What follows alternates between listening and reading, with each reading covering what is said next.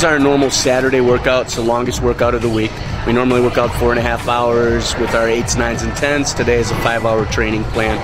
Um, basically, our eights, we have five groups of level eights, nines, and tens. About 45 athletes in the morning from eight to one. Jordyn Wieber's uh, schedule is she's on in a holding pattern right now for America Cup. But she's still going to Jacksonville as the alternate. She's going to train down there. We got to go down to the ranch on Monday to verify and show readiness, and then we fly right to Jacksonville from there.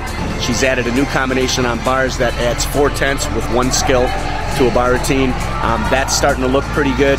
But besides that, we're pretty much set with what we're going to use in 2012.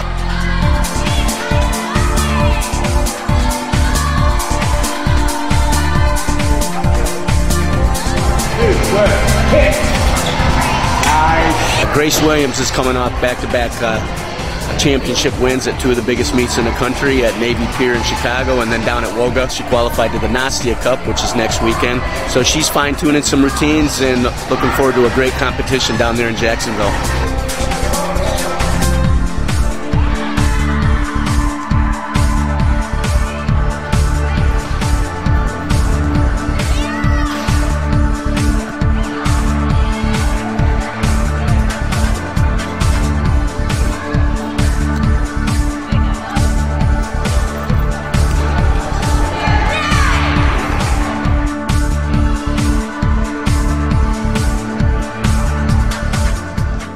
We have 20 level 10s, all of which have a legitimate shot at making nationals. We've had uh, as many as 12 national qualifiers in the past, and that's a pretty high number. We're hoping to surpass that this year.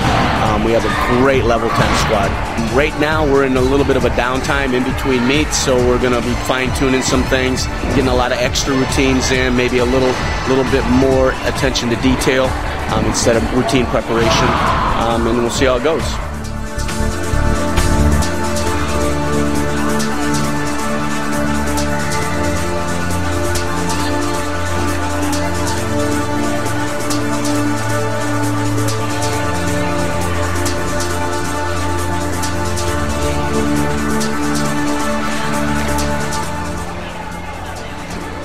Today is 10 routines. They stay um, on the beam. We save our dismounts for the end. At this stage of the game, we're doing a lot of soft landings.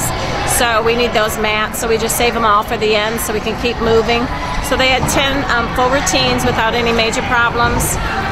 And then they do their upgrades and their problem work after that.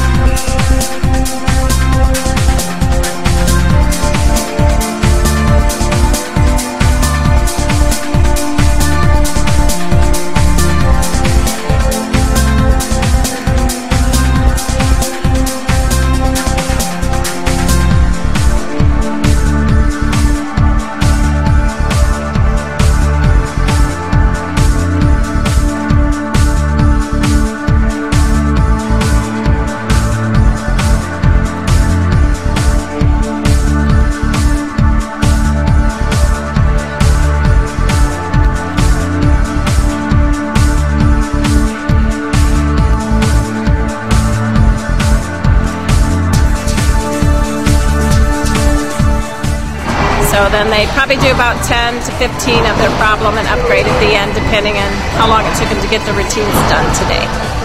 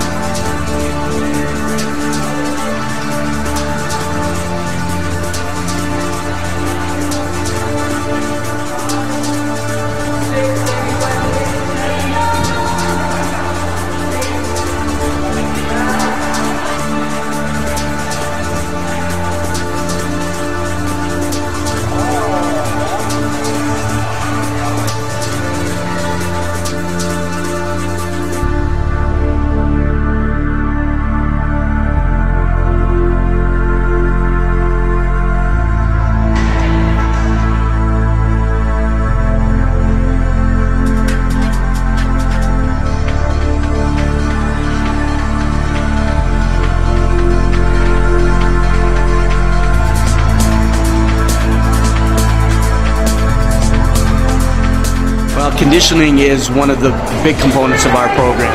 We try to build in at least a 30 minute nothing but conditioning rotation in each practice, but then we try to hide more conditioning during each event. And we don't call it conditioning, we'll call it complexes or basics or whatever, but it's really conditioning.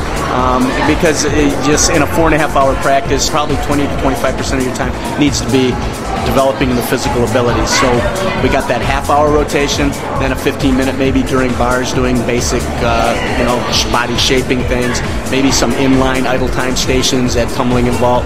And so it adds up probably close to an hour of conditioning in a four and a half hour workout.